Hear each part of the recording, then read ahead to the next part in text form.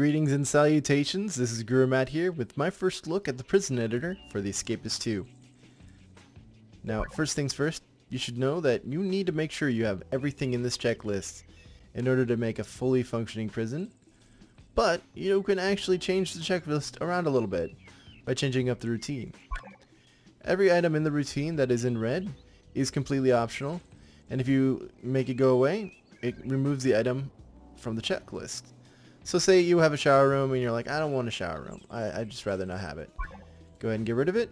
No more shower room. Same thing's true for exercise time. You don't need a gym. Meal time for uh, the meal hall. And uh, of course, job time for the jobs.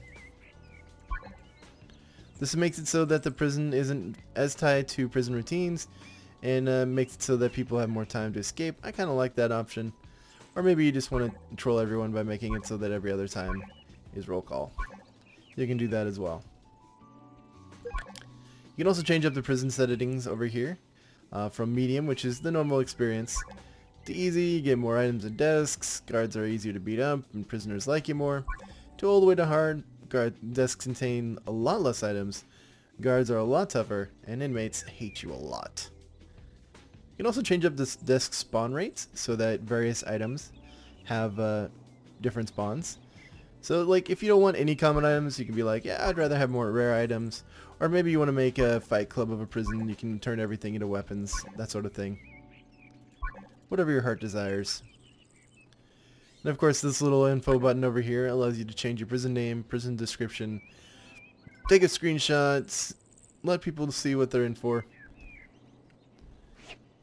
as as to the various items, um, a lot of the rooms are pre-made, uh, so you kind of have to go with whatever they've made for you. Uh, you don't really have the option currently to make your own stuff, so you kind of have to go with what they got. You can add little bits around it and make it pretty, but uh, for the checklist items, you actually have to go with the various things in the checklist. I do want to point out that there are only two floors and a roof. So you can only have things too tall. Um, but you can do certain things like if you didn't have a roll call on the very bottom floor, uh, you can actually put one on top of the roof. And it, uh, there's also an air escape you can put up here, as well as on the second floor. And then on the first floor, you know, there's a couple of land escapes, up to 20. Various cars, some of them indoors, and then uh, some of them outdoors. And then uh, there's three different water escapes. You got this here, you got that there, and you got that there. And of course the one air escape you put in various places. You can only have four unique escapes up at once, outside of the various perimeter, you know, basically the perimeter escape is all around the map. And these of course are tied to the unique escapes inside. Uh, we don't have anything more than these just yet. I'm hoping in the future update we'll be able to see them. Well, that's a basic rundown for the prison editor. I hope you enjoyed. If you like my content, please remember to hit the subscribe button and uh, hit notifications so you know when I'm live. I do stream a lot. If you enjoy my content, please hit the like button as well. It really helps me out.